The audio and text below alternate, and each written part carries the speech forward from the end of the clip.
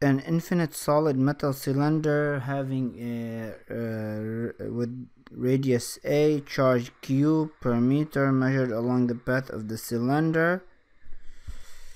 Um, surrounded by a thick concentric solid metal shell. Okay? Inner radius a outer radius b. The outer shell is grounded um, so there's no net charge on the outer shell i.e. the potential on the outer shell would be zero and the question is find the surface charge densities sigma uh, at uh, everywhere on each one of the surfaces hmm?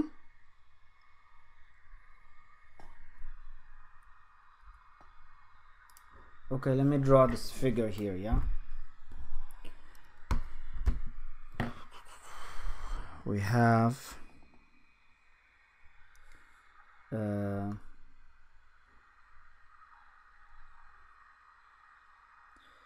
okay and we have one here and one here. Okay let me draw this a little bit more suggestive here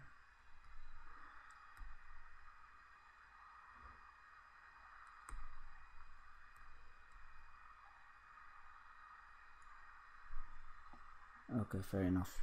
So uh, the radius of this is a. And then we have b. This is the shell here. The red one is the shell. B and c. Okay and we have uh, charge q oh by the way those are cylinders not spheres. Okay so uh, q charge q per meter with a charge q per meter measured along the length of the cylinder. So if it's charge per meter that's the um, that's the uh, lambda which is the uh, line charge density or linear charge density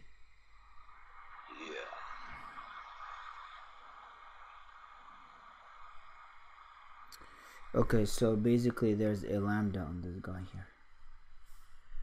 Okay so lambda equals q per one meter.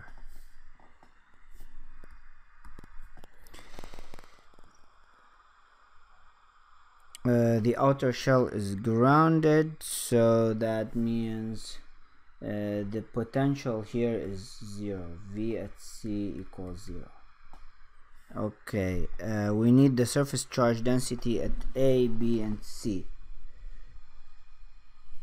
Okay. Yeah so uh, you know how to do it yeah? At a we know what the charge is.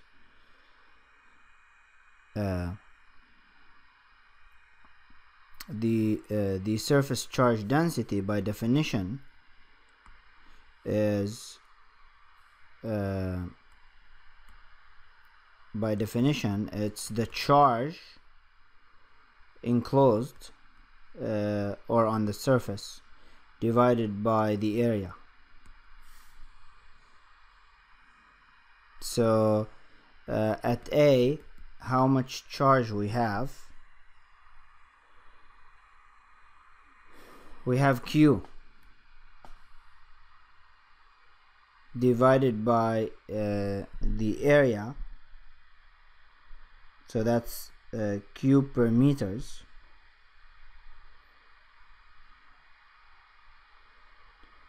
so that's um, basically lambda times 1 meter uh, divided by uh, because q here would be lambda m in, in 1 meter. So this would be lambda. So the length is 1 so uh, if the length is 1 the area would be uh, 2 pi uh, the radius which is a times the length which is 1 so it'll be 2 pi a q over 2 pi a. That's the surface charge on uh, at a. Let's call it smaller. That's what you got? Shouldn't it be lambda q over 2 pi a? Uh, q and lambda are the same in this case because we are considering one meter length of the cylinder. So there's no difference because uh, uh, per for every one meter you have q coulombs. So Oh yeah, yeah. so so the ratio is one. Uh, the ratio is q regardless. So lambda is q over yeah, lambda is q over. Uh, if the outer shell if the outer cylinder is grounded that means uh, the potential the, all the charge drops to the ground so there wouldn't be any charge and therefore the potential would be zero at uh, uh, on the surface of the outer shell. Uh, I apologize here for my naming.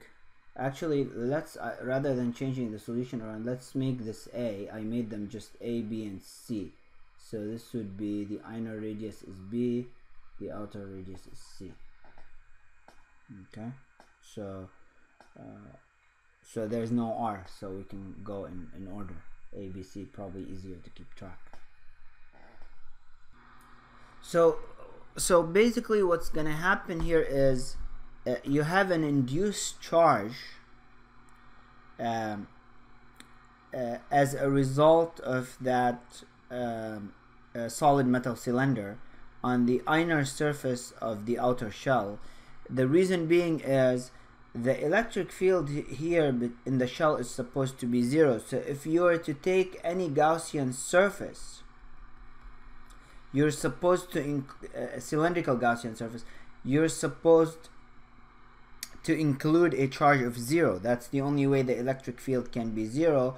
And as a result, you are going to induce charges on the inner surface of the shell, uh, the inner surface of the uh, uh, shell, in the amount of minus lambda. And uh, that automatically tells you uh, what the surface charge will be on uh, on the on the uh, at B at radius B. So therefore, at radius B, you're gonna have uh, now a minus q or minus lambda, whatever you like.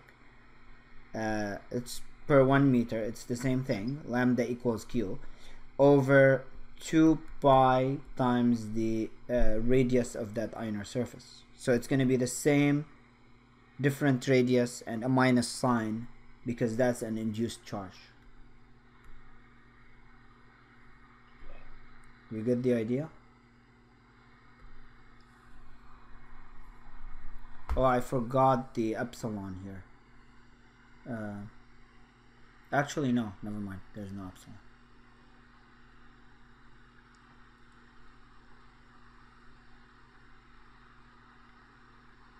the length is 1 so times 1 doesn't matter we're considering a length of 1 and that automatically tells you immediately what the charge is on the outer surface of that shell because uh, if if if there's no charge on the uh, outer shell because it's grounded uh, that means the charge on the on the red shell has to amount to zero.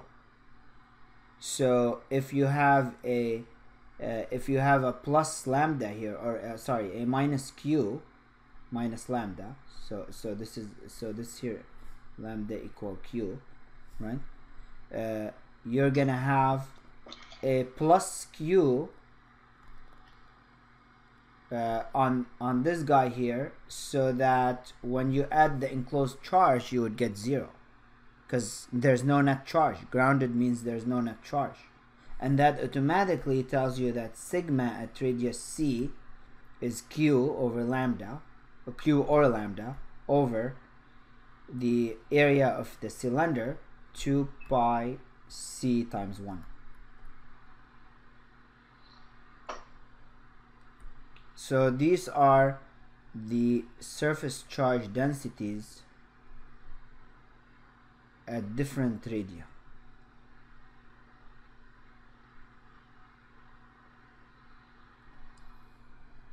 Okay.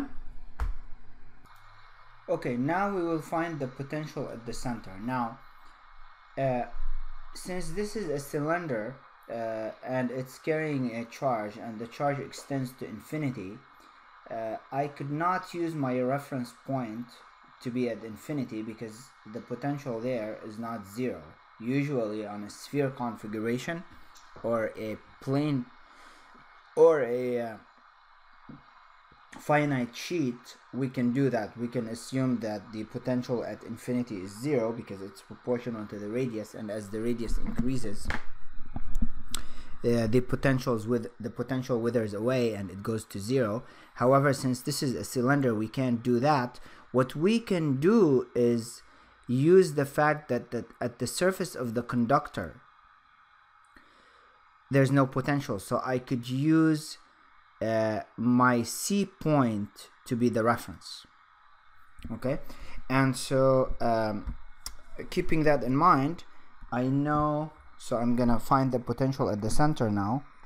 I know that uh, the potential at the center is equal minus the integral of uh, going from the reference okay? The reference which I will call C here okay? All the way to 0 to r equals 0 of EDL electric field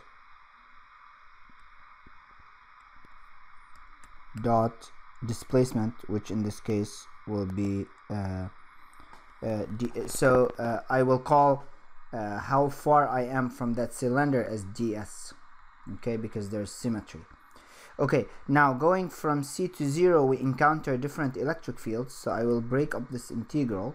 So we're to go from C to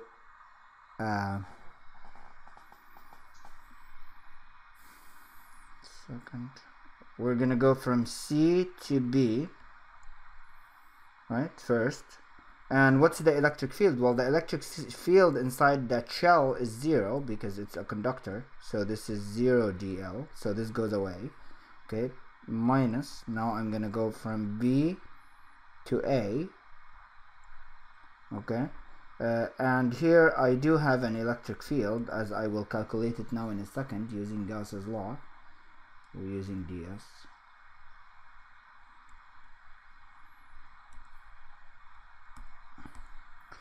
okay and then I'm gonna go from oops.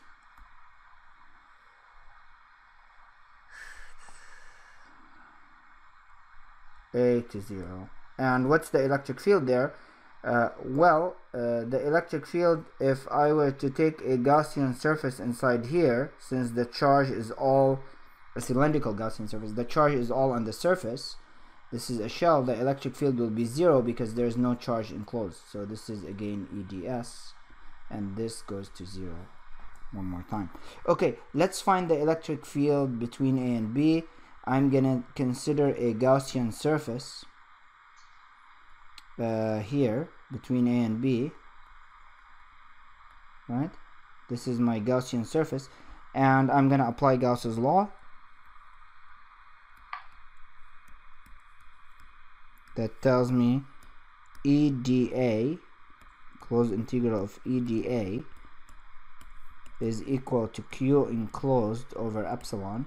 Now Q enclosed on that Gaussian surface notice that uh, I am enclosing the this is a cylindrical Gaussian surface by the way so it's going out of the page and into the page all the way to infinity but I will only consider my Gaussian surface to be of length L.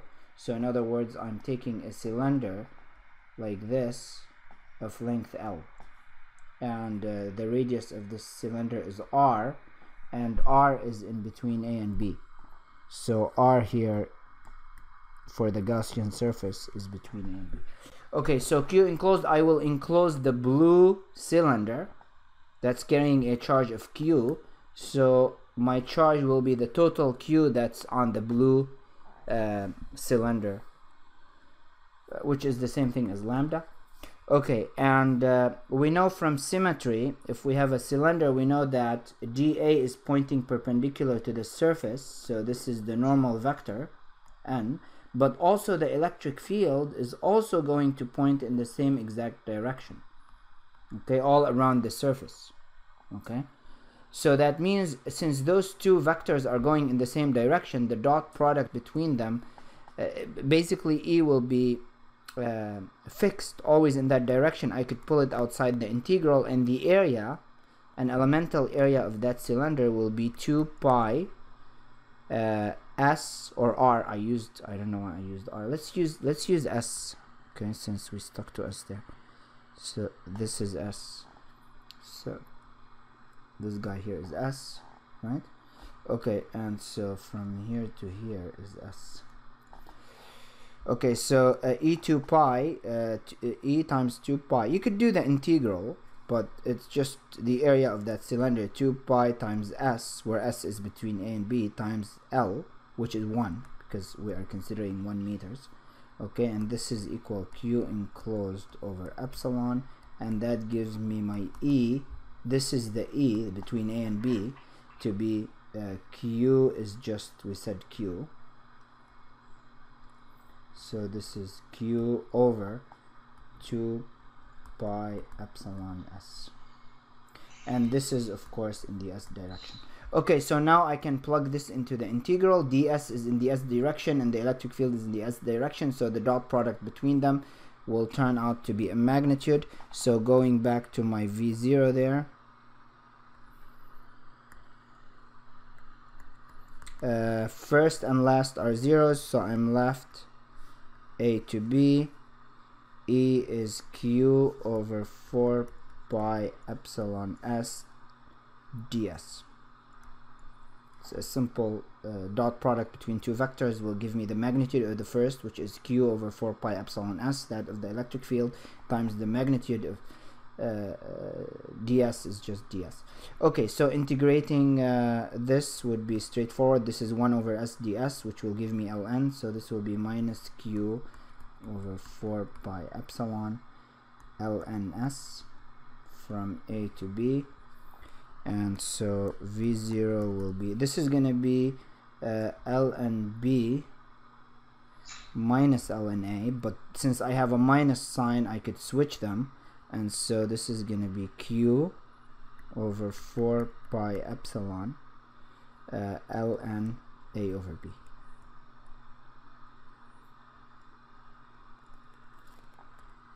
This is the potential at the center